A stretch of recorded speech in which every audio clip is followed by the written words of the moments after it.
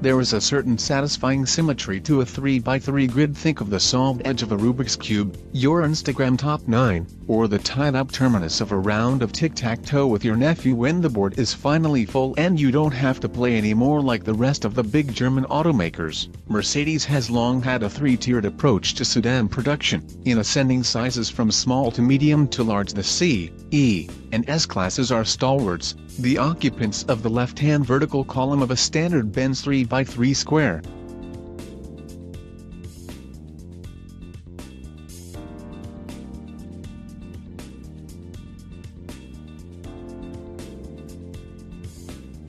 But the brand has recently been busy proliferating its car lineup in an almost metastatic way, filling in the rest of the boxes in this four-door two-door convertible matrix now it is finally releasing the vehicle that occupies the middle of the middle, the middle row of the middle column and any Hollywood Squares fan knows you can't win the game without the center square.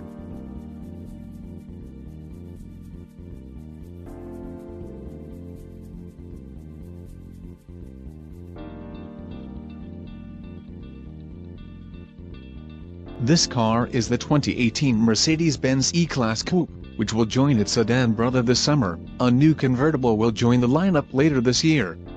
The simple answer to what differentiates this car from its sibling is that it lacks rear doors, as well as the barriers between the front and rear windows and any framing surrounding them but the true differences lie a bit deeper in the E-Coupe's physical makeup the two doors shorter, wider, and lower than the sedan, and rides on a wheelbase that eliminates a few inches between the wheel wells.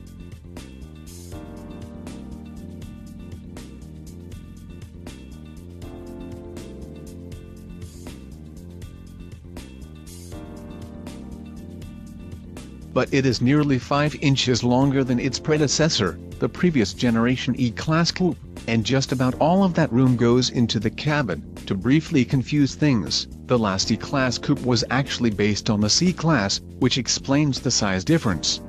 What this means is that the coupe has a lower center of gravity, and a slightly more sporty appearance than the sedan, and that people of normal size can ride in the carefully carved back seat without feeling like the trash in a compactor.